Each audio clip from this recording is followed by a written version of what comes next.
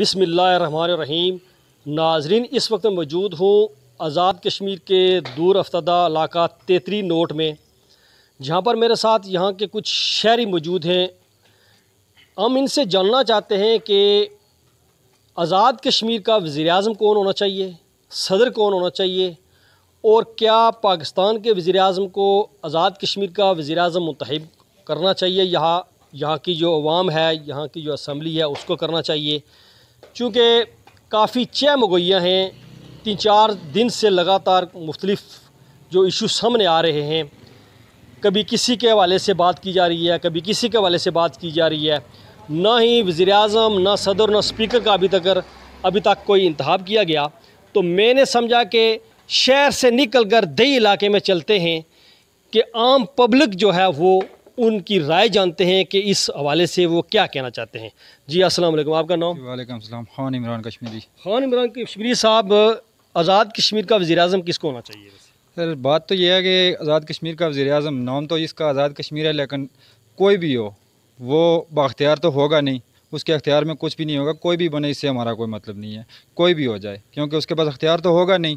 वो एक कठपुतली वजी अजम होगा। क्यों नहीं? यहाँ पे असम्बली है ना। सर अगर असम्बली है यहाँ पर तो असम्बली वजी अजम सेलेक्ट करे ना। कि एक दूसरे मुल्क का वजी अजम सेलेक्ट करेगा कि यहाँ वजी अजम कौन होना चाहिए? अगर असम्बली है हम अगर बाख्तियार हैं तो ये हमें अख्तियार दें कि हम लोग यहाँ की काबीना इसको सिलेक्ट करें कौन वजी अजम होना चाहिए। जी जी। असल आपका क्या नाम है? वालेकुम सोएब अहमद। अच्छा क्या आप क्या समझते हैं कि यहाँ का वजी अजम कौन होना चाहिए?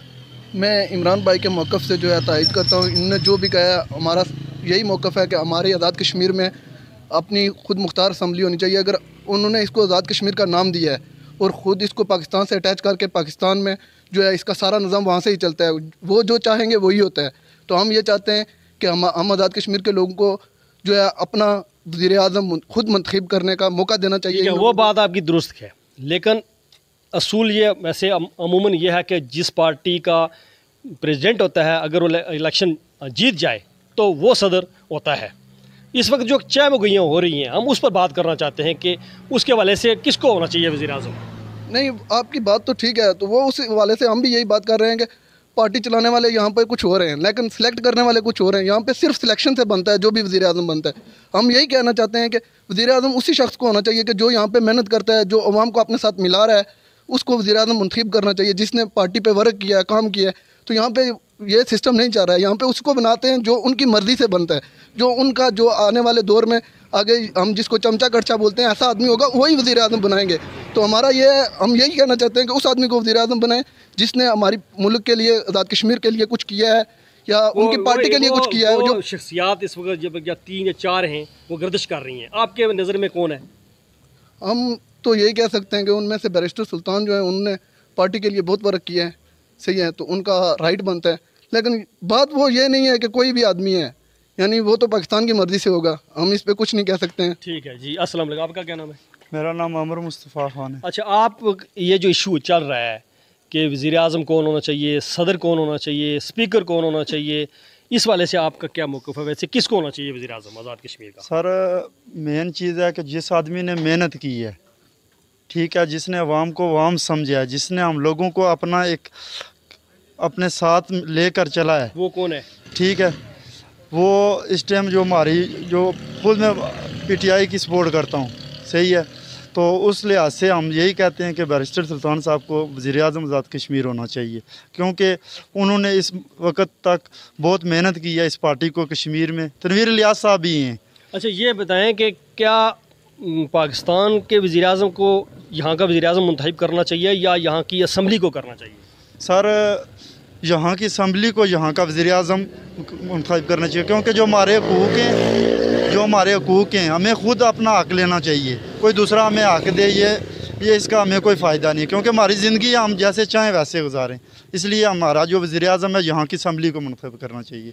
तनवीर लियाज साहब चूँकि वो भी इसी खत्ता के हैं बैरिस्टर साहब इस खत्ता के हैं तो फिर तनवीर लियाज साहब को क्या उन्हीं वज़ी अजम बनाना चाहिए? सर मेन चीज़ है कि उन्होंने अपनी पार्टी से बैरिस्टर साहब ने दो तीन हल्कों में से अपनी पार्टी से उन्होंने इलेक्शन जीता है। तनवीर इम्तियाज़ साहब ने भी एक दो जगह से जीता है मगर क्या कि एक जगह से वो आ रहे हैं। इसलिए जिसकी काबिलियत है उस पर उसको का, उस काबिल रखना चाहिए। मेरिट की बुनियाद मेरिट की बुनियाद पर। वालेकुम। आपका क्या नाम है? मेरा नाम एजाज है। अच्छा आपका क्या मौका? आप नौजवान हैं और पढ़े लिखे भी लगते हैं। सुलझे भी हैं। आप क्या समझते हैं कि आज़ाद कश्मीर का वज़ी अजम कौन होना चाहिए? सर बात यह है ना कि आज़ाद कश्मीर का जो भी वजी अजम हम उसको मानते हैं ये कठपुतली हुकूमत है। ये जिसके पास भी मानना तो पड़ेगा। देखें यहाँ के लोगों ने वोट दिए हैं। आप माने या ना माने इससे पहले ही वज़ीर अजम रहे हैं। आपकी बात और ये भी वज़ीर अजम होगा। आपकी बात उनमें से आपने ये कम अज़ कम ये होना चाहिए कि चलो किसको बनना चाहिए सर देखिए वो ना। अख्तियारात की बात अपनी जगह है। सर अख्तियार जिसके पास भी मर्ज़ी हो लेकिन कठपुतली हुकूमत है ना ये पीछे से चलाने वाले। ये आपको भी जाकर बैठा दें आप भी जो वो कहेंगे वही करेंगे ना। इससे कोई फ़र्क नहीं पड़ता कि तनवीर यहाँ बने लोगों ने यहाँ के लोगों ने यहाँ की मेम्बरान असम्बली को वोट देकर वोट की पर्ची उस वो देकर मुंतब किया है। और फिर वो अवान में जाएँगे उनमें से कोई वज़ी अजम बनेगा। सर, बात आपकी सही है ना। फिर अगर हमने लोगों ने इन्हें वज़ी या सदर का अहदा देने के लिए तैयार हैं तो फिर कोई और दूसरे मुल्क को ये अख्तियार नहीं होने चाहिए कि वो वज़ी या सदर इंतखब करें। वो आज़ाद हैं तो फिर कश्मीर की असम्बली उसे इंतखब करना चाहिए, इन्हें कश्मीरी लोगों को हक देना चाहिए कि वो वज़ी या सदर का इंतखब करें। नाजरीन, ये थे यहाँ के कुछ नौजवान जो अपनी जो ख्याल का इजहार कर रहे थे। इनका ये कहना है कि सबसे पहले को यहाँ की जो असम्बली है, उसको बाख्तियार बनाना चाहिए। और जो लोग यहाँ पर वोट देकर अपने नुमाइंदे मुंतब करते हैं, असम्बली में भेजते हैं, उनको अख्तियार देना चाहिए कि वो किसको वज़ी बनाते हैं, किसको सदर बनाते हैं, किसको स्पीकर बनाते हैं क्योंकि उनको ज़्यादा पता होता है। और फिर साथ भी इनका ये कहना है कि असूली तौर पर जो बात बनती है, वो किसी भी पार्टी का जो सदर होता है, असूली तौर पर उसी को इससे पहले वज़ी अजम बनाया गया है। तो इनका मुख्तलिफ़ आरा हैं जिनको आपने इनकी आरा सुनी है। किसी ने कहा है कि ये बख्तियार असम्बली नहीं है। किसी ने कुछ कहा है। बरकफ, मुझे आपके फीडबैक का इंतज़ार रहेगा। मलजुफ़कार जे के टी वी तेती नोट जम्मू कश्मीर